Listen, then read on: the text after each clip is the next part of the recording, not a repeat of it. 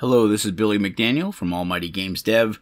Today we're going to be learning some tips and tricks for Blender, more specifically how to make a closed circuit loop racetrack like you see here. One of my viewers, Link1111, had written and asked how to do this, so I'm going to show you Link and anybody else interested in watching. We're going to use a couple of modifiers, the curve and the array modifier, and together with the curve and a mesh, we should be able to achieve this. So let's go ahead and add our mesh. So add a cube, we'll go into edit mode on this cube and scale it on the Z axis to 0.1. We want to make it nice and flat. Let's go in here and add a loop cut with control R. We're going to put that on the Y axis, so left click once and then roll my mouse. So we have two cuts and left click. We're going to scale this on the X axis to make a couple of sidewalks along the side. Using face select and control E to access the extrude menu, we're going to use extrude manifold to push that down. Now I can clean up some unwanted geometry by selecting these faces and then deleting them. So select everything you don't want, delete those faces. We're almost there. We have what looks like kind of like a road, but we need to add some more geometry to this, more specifically, some more loop cuts. And I want to create an odd number, leaving a nice loop cut straight down the middle. So I'm going to choose the number 11. And as you can see, there is one cut going right down the middle. This isn't really necessary, but it makes things nice and balanced. So let's go in and continue. Uh, I guess what's next is we got to name this, right? Don't forget to name your objects, otherwise it can be very confusing.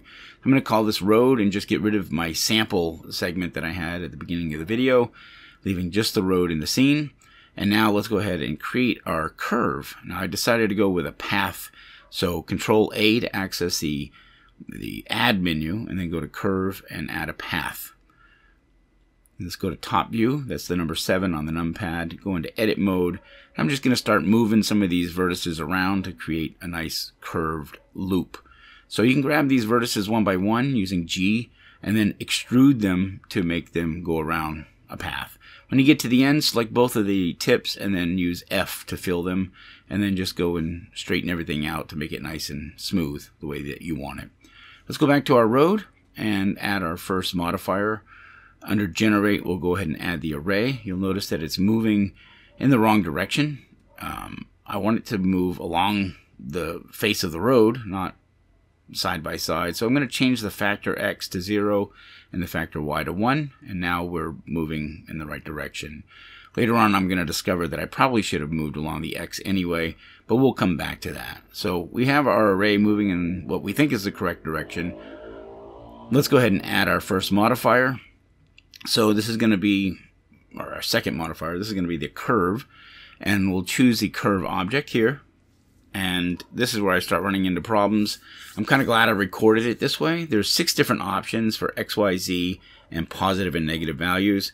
I'm going to go through the I'm going to go through all of them and then realize that it's just not working. And I think there's probably a lot of different ways to go about fixing this. But for me, the easiest way was to just go back and rotate the original mesh so that it's facing in the in the X direction instead of the Y. So that's what I'm going to end up doing. I'm going to go back to the array and change the factor Y back to 0, change the factor X back to 1 like it was originally. Ah, now you can see that it's going in the right direction. So I go into edit mode on the mesh and just rotate it 90 degrees on the z-axis so now it's going in the opposite direction. No big deal but it fixes that problem. Now that we've done this I'm going to scale it down. If you don't want to scale your road down you can always scale your curve up but basically make the road match the curve shape. Now you can see I've gone and overlapped. From here it looks fine but if you brought this into a game engine you'd see some some face battling there where the faces are competing to be on top um, what's going on here is we have a little bit of overlap. So if I go just one more, again, you can't see it here, but if you go and apply this, which is going to happen when you bring it into your game engine, and then you go into edit the mesh, you can see the overlapping now. See the darker orange area.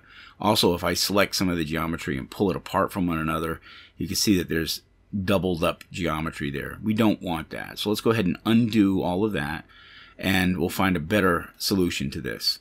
So we have our two modifiers. I'm going to go back so that they don't overlap. There is a gap there. And then I'll go back to my curve and just edit the curve and try to bring that gap in a little bit closer together. Now I do spend a moment doing this, but I really like the shape of my racetrack and I don't really want to close that gap in. Don't panic, we can still do that quite easily and it'll still look beautiful when we're done. So now that we've got our track set, let's go ahead and apply both of those again because we're going to need a solid mesh. And what we want to do is focus in on just this gap right here. So I'm going to use Alt left click to select that edge and then Alt left click to select the other edge. You can see that only those edges are selected. I'm going to demonstrate that again here. So Alt left click and then Alt Shift left click so that only those edges are selected and nothing else. And then use Control E to bring up the Bridge Edge Loops menu. Go ahead and click on that. And now bring up the worksheet. And there's two things that you're going to want to play with here. One of them is the cuts. And I want to basically make it look like the surrounding geometry. The other thing is if it doesn't look quite right to you, you can always play around with the smoothness too. Now I'm going to select this right here because this looks a little jagged to me and use control plus sign to select more and delete that geometry because I want to smooth that out while I'm at it too.